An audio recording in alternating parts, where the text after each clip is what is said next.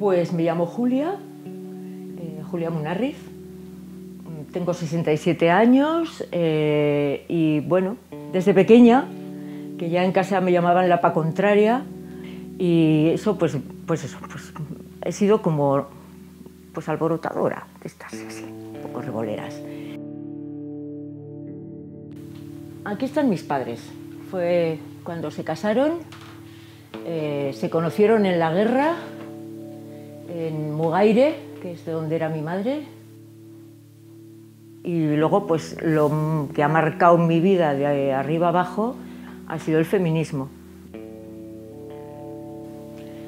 Empecé a militar, pues como cuando tenía como 17 años, pues empecé ya el activismo en los comités de estudiantes.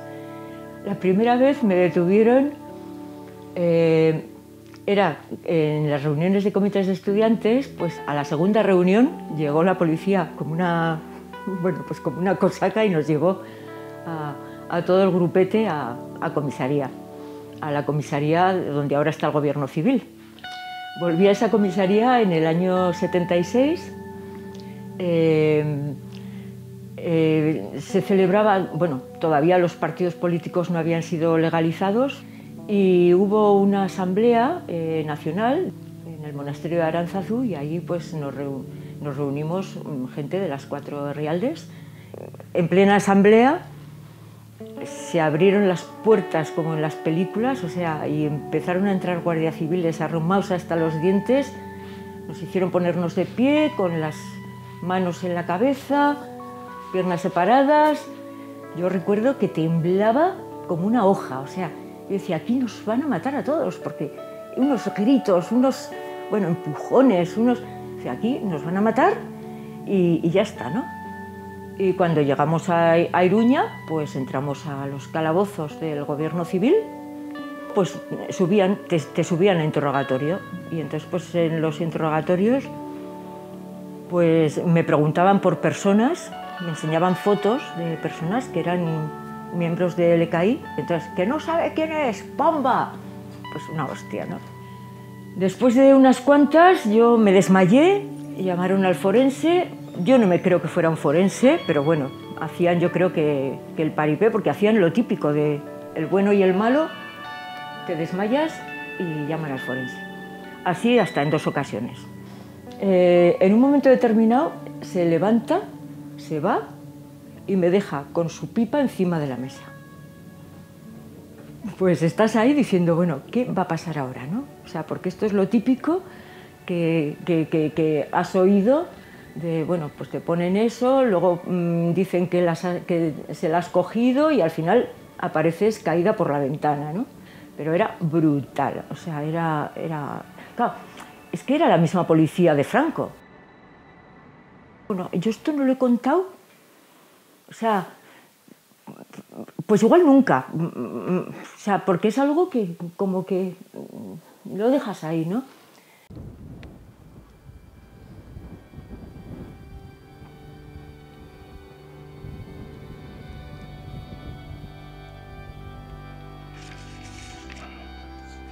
Este soy yo de jovencico, eh, Santi Jaunarena, natural de, Iruña, de toda la vida. Estos son las campas de Urbía. Estos dos se tuvieron que refugiar. Y este soy yo.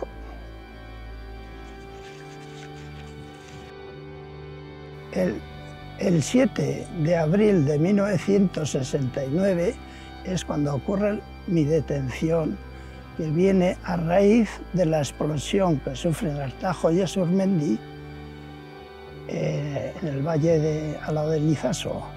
Me llevan al cuartel de la Guardia Civil que está en la calle Galicia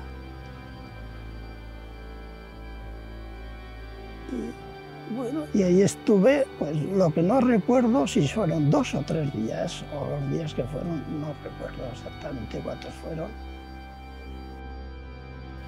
Sí que tengo el recuerdo de, los golpes, de las esposas puestas que me cortaban la circulación de las manos eso sí. Ni de dormir o no dormir, no tengo ningún recuerdo de eso. Yo diría que de dormir nada. Una, recuerdo haber comido una vez en todo el tiempo.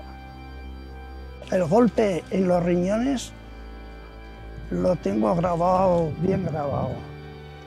Es como un saco al suelo. Eh, nos pasaron la jurisdicción militar y entonces al sacarnos de aquí nos llevaron a lo que era Capitanía, donde es el museo ahora, y no nos hicieron ni temas de declaración derechos a la cárcel. O sea que derechos humanos, nada. Bueno, vivo cerca de la calle Galicia, bastante cerca, y la verdad que cada vez que paso por la acera de enfrente, no por la más cercana, pues la verdad que siempre miro a todas las ventanas y me vuelve a la memoria pues, lo que pasó en aquellas fechas. Y me, y me vuelven recuerdos, algunos, y hay otros que me cuesta y tengo que esforzarme en recordar lo que pasó ahí dentro.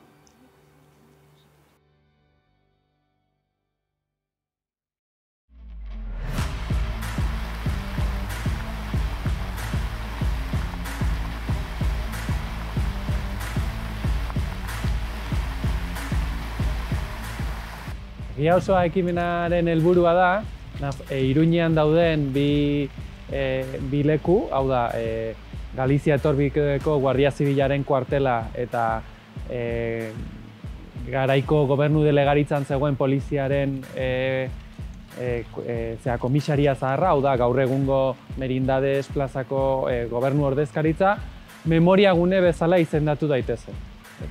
Eta, e, ba, ze, egia osoa ekimenaren bultzatzaileen artean lau talde daude. Hau bultzatu dugu, e, torturak sufritu zituzten, garai hartan torturak sufritu zituzten personen artean, e, hainbat memorial karteren artean, historialarien artean eta abokatuen artean.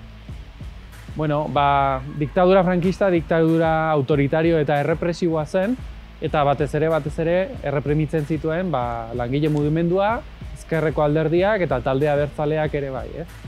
Eta e, ba, ba, bueno, ba, jakina den bezala, ba, oposizioko talde hori guztiak e, jazartzen eta erreprimitzen zituen, eta atxiloketak gertatzen zirenean badakigu, eta gauza jakina da, bitoki horietan torturak izan zirela. Eh?